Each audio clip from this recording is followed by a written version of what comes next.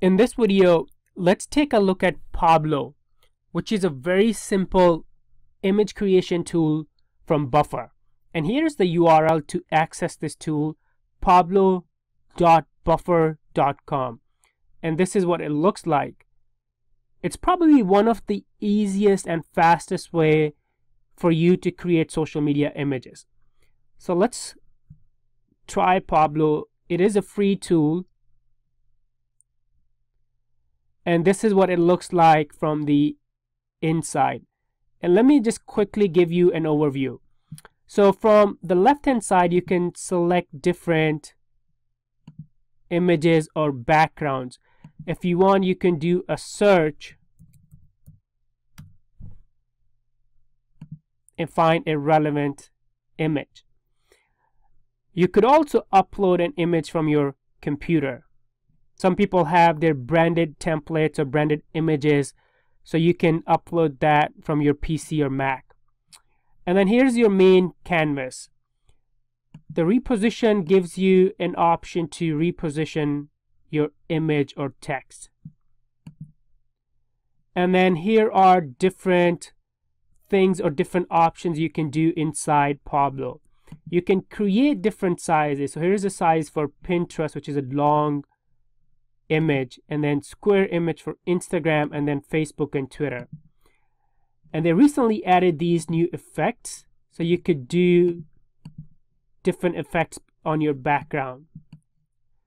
And then here is the text option. So you could add a header and a caption. Now, a caption could be your website address, it could be your hashtag, and things of that nature. And then here's the main body your main text. And you could choose different fonts. There are several options here. You can bold it and play with all of these options. Change the size of the text and also change the color if you like. Let me go back to white. There you go. That's much better and then here is actually a really cool option from Pablo. You can actually shuffle through different quotes that are already in the tool. This is really interesting.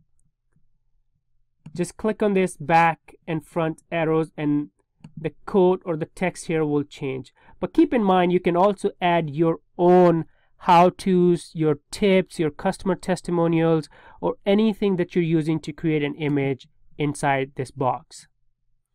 Here's another cool option. You could insert your logo or graphic to brand your image. Very easy. And once you're done, you can download this image or share it directly on your social media marketing channels. Now, one quick pro tip that I use and I would suggest is when you create images using Pablo or any other image creation tool, I would suggest that you batch your work. What that means is don't create images every single day at the time that you're supposed to share. Block a time, batch your work, and create a lot of images at the same time. This will save you hours on your social media work.